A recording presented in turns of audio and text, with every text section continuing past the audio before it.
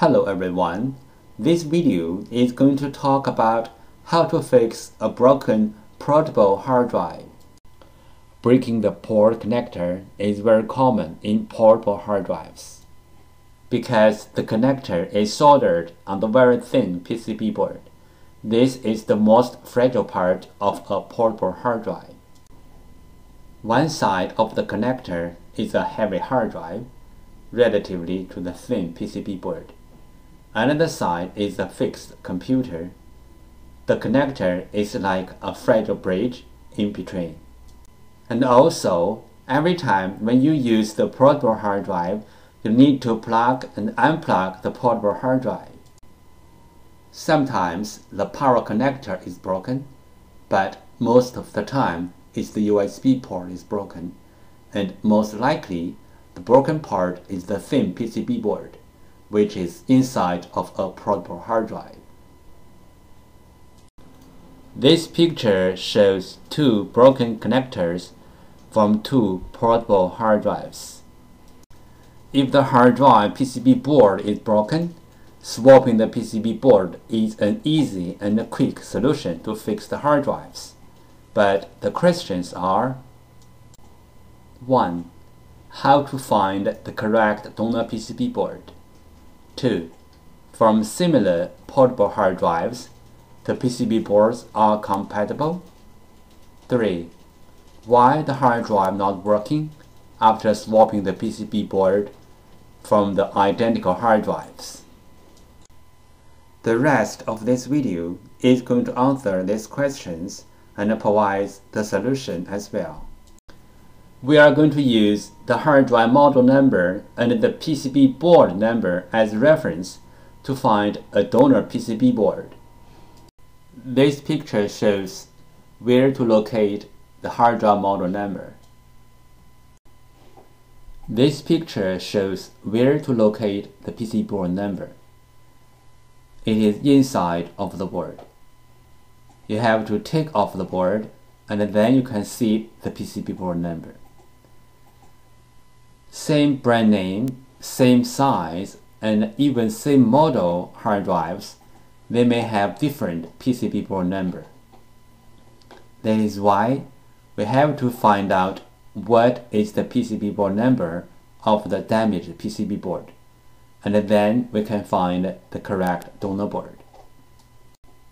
You may go to hdd-parts.com, input model number and the PCB board number, then click on Go. Now the correct donor board is found. Please read item description part and follow the instructions.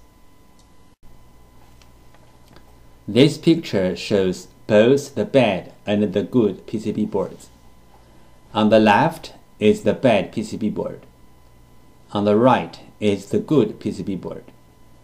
They share the same PCB board number. Then the questions are 1. How to find the correct donor PCB board? Question 2. Why do we have to do the PCB board firmware transfer even the two PCB boards share the same PCB board number and they came from the same model hard drives? The rest of this video is going to answer these two questions. What is the PCB board firmware and why do we have to transfer this firmware? Because for this model hard drive, one PCB board includes two parts, hardware and firmware. The firmware includes the hard drive's unique configuration data. The hard drive needs this unique configuration data to work. So we have to transfer this unique configuration data from the original bad PCB board to the good donor board. Then the donor board can work on the original hard drive. This picture illustrated how the PCB board firmware transfer works. On the left hand side is the bad PCB board. On the right hand side is the good PCB board we transfer the firmware from the bad PCB board to the good PCB board. Questions about the PCB board firmware transfer. 1. We can do the firmware transfer from the burned, physically damaged, watered PCB boards. 2. PCB board firmware transfer is different from the hard drive firmware upgrade. PCB board firmware transfer is to copy the board firmware from one board to another board. Hard drive firmware upgrade is to upgrade hard drive's own firmware. It nothing to do with another hard drive or other PCB board. 3. We do firmware transfer for our clients for free. 4. We offer worldwide free shipping to ship the donor board to our clients. This picture illustrated the procedure of fixing a hard drive PCB board. First, the clients send in their PCB board. 2. We fix the PCB board. 3. We ship back the PCB board to the clients.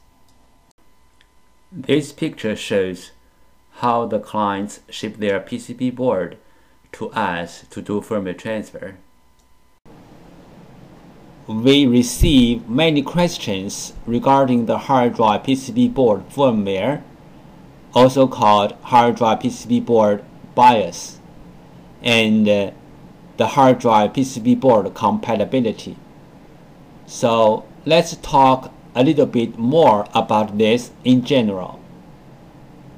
Some PCB boards BIOS are in the independent memory chip, like the first picture shows. Some PCB boards BIOS are integrated into the main IC, like the second picture shows. Most of the modern hard drive PCB boards need to do the BIOS transfer before swapping the PCB board. Even the donor boards are identical with the original boards in hardware, we have to transfer the BIOS from the original board to the donor board. Then the donor board can work on the original hard drive. The third picture shows some of these PCB boards but there are some hard drive PCB boards do not need the BIOS transfer as long as the donor boards are identical with the original boards. You can swap the boards directly. The fourth picture shows some of these kind of boards. If you have any questions, such as how to find a donor board, if your board need to do the BIOS transfer, where is the BIOS of your PCB board? How to swap your PCB board? Please go to www.hdd-parts.com to check it out. Or you may take pictures of your hard drive and the PCB board and email to us. We will give you the correct answer Thank you so much for taking your precious time to watch my video. Any comments are really appreciated. If this video is a little bit of help, could you please click on like to support me? Thank you again. Bye.